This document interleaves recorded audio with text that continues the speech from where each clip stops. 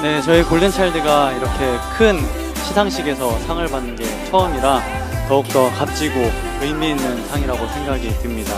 어, 우선 울림 엔터테인먼트의 이중엽 대표님 그리고 영준 이사님을 비롯한 어, 회사 식구분들께 진심으로 감사하다는 말씀 드리고 싶고요.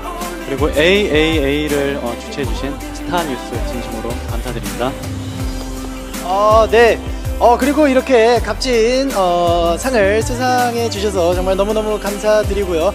우리 또 골드니스 예, 이 상은 우리 골드니스에게 바친다고 생각을 하겠고요. 그리고 또 굉장히 힘 많이 써준 우리 승규 형 그리고 어, 오늘을 마지막으로 떠난 우리 곽창주 팀장님께도 이 상을 돌리고 싶습니다. 감사합니다. 아 그리고 우리 태구 군이 한번 예, 세계 아 여기 있군요. 예, 세계적인 언어로 한번 부탁드릴게요.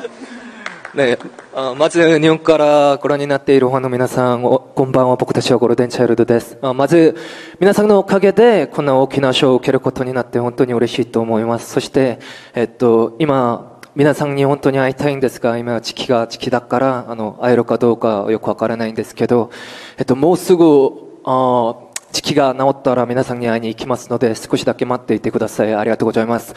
And I'm truly honored to perform in such amazing audience, and I hope you guys remember this moment. And thank you for giving us uh, such amazing award, and thank you so much. And thank you for AAA. Uh, have a nice day. 네, 감사합니다.